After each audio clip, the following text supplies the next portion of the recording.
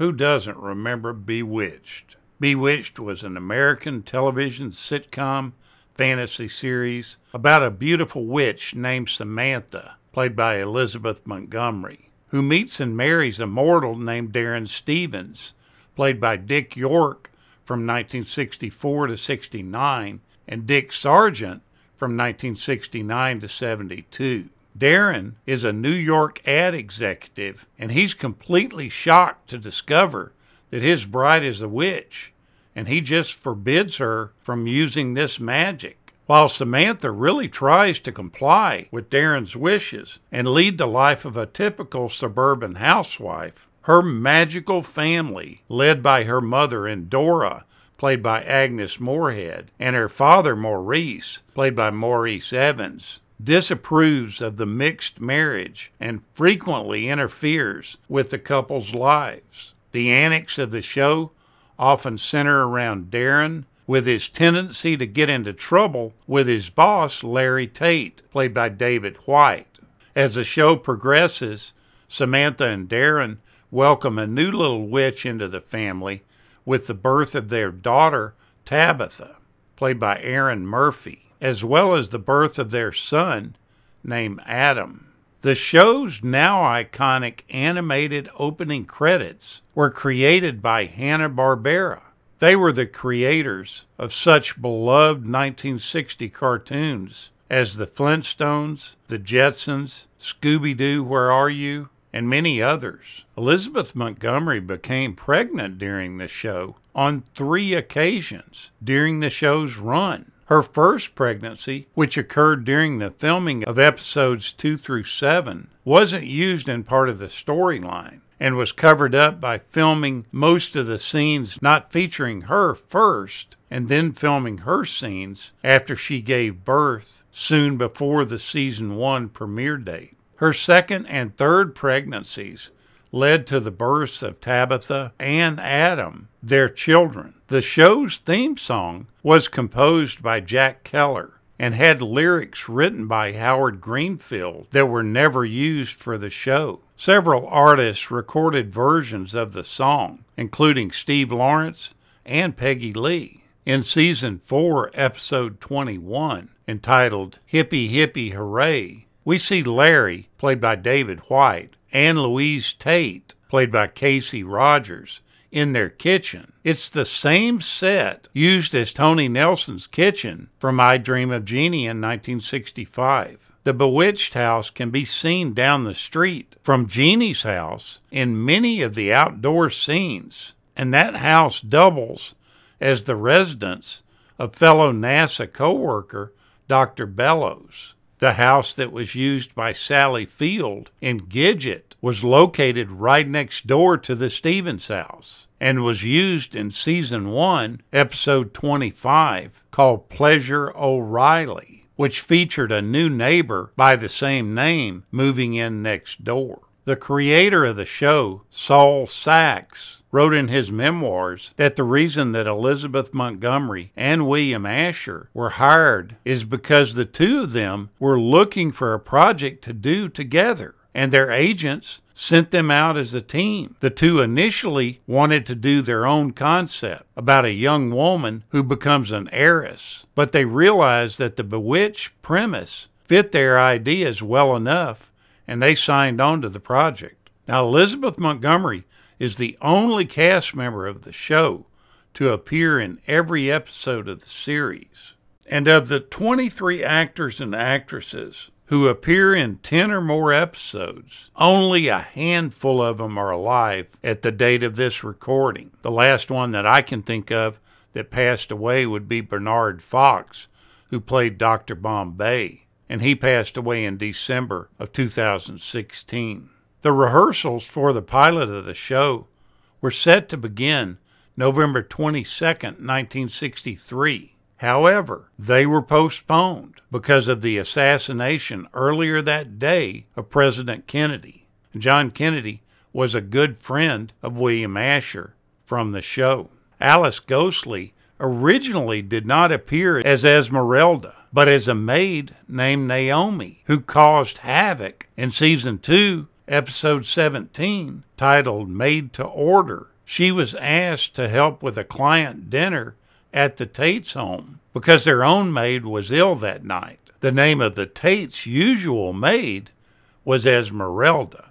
Although Gladys Kravitz was a relatively minor character on the show, the role is extremely memorable and kind of set the term Gladys Kravitz into the American vocabulary. And that's a phrase or a name that is commonly used as a synonym for a nosy neighbor or colleague. The show had an unusual amount of roles played by more than one person. There were two Darrins, there were two Gladys Kravitz, there were two Louise Tates, and there were two of Darrin's fathers. Dick York left the show in 1969, and his role of Darrin was taken over by Dick Sargent. When Alice Pearce died, her role as Miss Kravitz was taken over by Sandra Gould. Now, one of the odd things, if you really have a keen eye and look at the cars that show up during the first six seasons, you'll notice that every car in sight is a Chevrolet. And that was because the car company was one of the show's original sponsors. Elizabeth Montgomery played the role of Samantha Stevens and her more free spirited cousin, Serena. In the cast listings of many of the episodes, the role of Serena was listed as being played by Pandora Spocks. Many viewers didn't realize this and wrote Pandora fan mail. There's also a famous Hollywood legend that says that Montgomery and her husband, William Asher, once left the set together with Montgomery still wearing her Serena costume and makeup and they checked into a hotel together instead of going home. Almost all of the female witches in the show have a name that ends with the letter A, including Samantha, Endora, Esmeralda, Clara, Agatha, Enchantra, Serena, and Tabitha.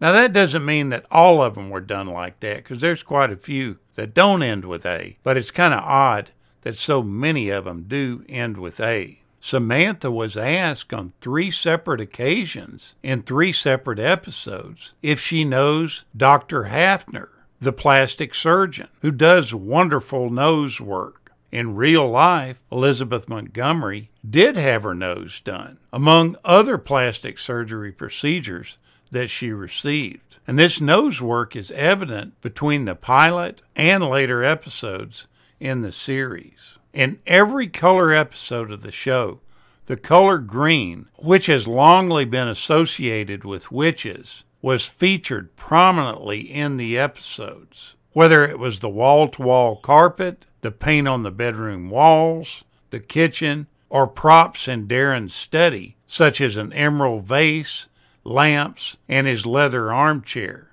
Green was everywhere you looked. Samantha was decked out in green more often than she wasn't. The prominence of this drab green color was common for TV shows that made the change to color in mid run. And this is because this color of green shot much better in black and white film stock. You can notice this same effect on a lot of TV shows that switched from black and white to color, like The Andy Griffith Show. There's this continual drab green color that is used in all the settings. Before the lead character's name was Samantha, the name was actually going to be Cassandra, and the studio really wanted Tammy Grimes for the part, but she didn't get the show at all. And she thought that as a witch, she was going to be able to stop wars and solve traffic problems. She decided to turn the role down. Now, Dick York was injured in an accident when he was filming a Gary Cooper movie in 1959. That movie was called They Came to Cordura, and this accident basically ruined his career. He ended up tearing muscles in his back, and he had to take massive amounts of painkillers, deal with addiction that was related to that, and his inability to function on the set. After the third season, it was not often known whether Dick York would be well enough to work during a given week. Darrinless scripts were produced and kept on hand in case he was not able to perform. Now, this caused just a terrible production problem for the studio. They just didn't know how to continue on having him in the role of Darrin. So they basically fired him. Now, they did it in a much softer way, saying that he was replaced because of health issues, but he was really kicked off the show because he couldn't show up to work. When it became clear that they were going to do away with Dick York's character, they really thought about canceling the show entirely because Elizabeth Montgomery was really wanting to move on anyway. But the ratings of the show were still high enough that the network wanted to keep the show going. So they brought in Dick Sargent to replace York. But there was still one problem with this how to explain why Darrin looked and sounded different. Many people working on the show came up with all sorts of ideas how to explain it. But Asher thought that the viewers were much smarter than this and that they understood that an actor was playing the role. So he decided that the best explanation was no explanation. Now, not everybody was really happy with Dick York's dismissal from the show. Agnes Moorehead was furious. She had a really strong working relationship with Dick York, and when he was replaced by Dick Sargent, she didn't take this decision well at all. On Sargent's first day on the set, during the script reading, in front of the entire cast, including Sargent, Moorehead very slowly but firmly stated, I don't like this change. Elizabeth Montgomery charmed all of us with her beauty and her magic. Who doesn't remember sitting there watching as she twitched her nose to make things disappear, reappear, or completely change? What a great show this is, and it's always a blast to watch this in reruns. Thank you so much for watching, and we'll continue to chase the classics.